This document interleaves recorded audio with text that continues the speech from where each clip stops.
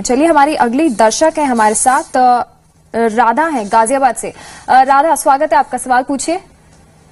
हाँ जी मैंने 2000 2010 में एलआईसी की वेल्थ प्लस पॉलिसी ली थी जिसमें आठ वर्ष की अवधि थी और हाईएस्ट एनर्जी देने की बात कही गई थी। क्या मैं इस पॉलिसी में बने रहूँ या बाहर आ जाऊँ? मेरा दूसरा क्वेश्चन ये है मुझे सिप के बारे में बताइए जो सबसे अच्छे दो तीन सिप बताइए जिसमें पंद्रह बीस वर्ष के लिए निवेश कर सके। आप फंड की बात कर रही हैं? कौन से फंड जानना चाह रही हैं आप?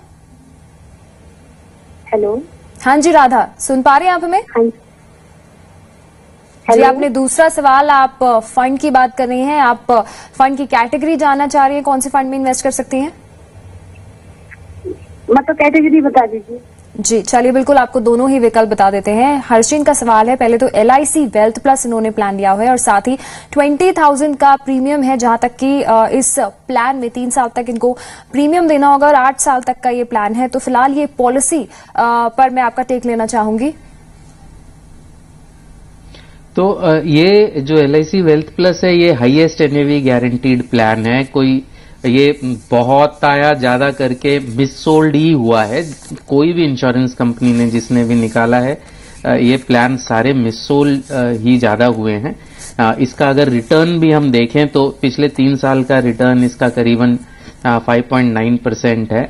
इसको अगर कंपेयर करें तो मैं इसको इक्विटी फंड से कंपेयर भी नहीं कर रहा, लेकिन एक एमआईपी फंड से भी कंपेयर करें तो इसका रिटर्न उससे करीबन 60 परसेंट पे है।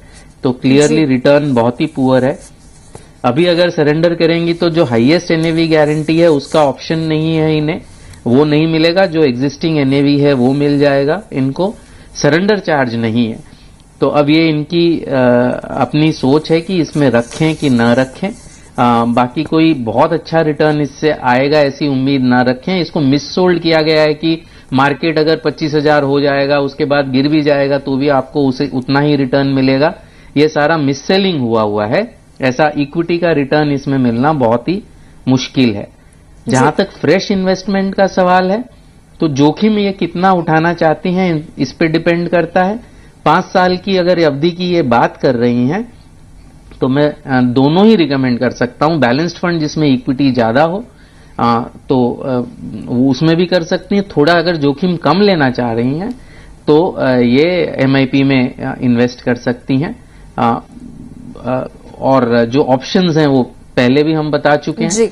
बैलेंस्ड फंड में आप। आईसीआईसीआई प्रूडेंशियल बैलेंस्ड फंड देख सकते हैं। एचडीएफसी का आइदर प्रूडेंट या एचडीएफसी बैलेंस्ड फंड देख सकते हैं।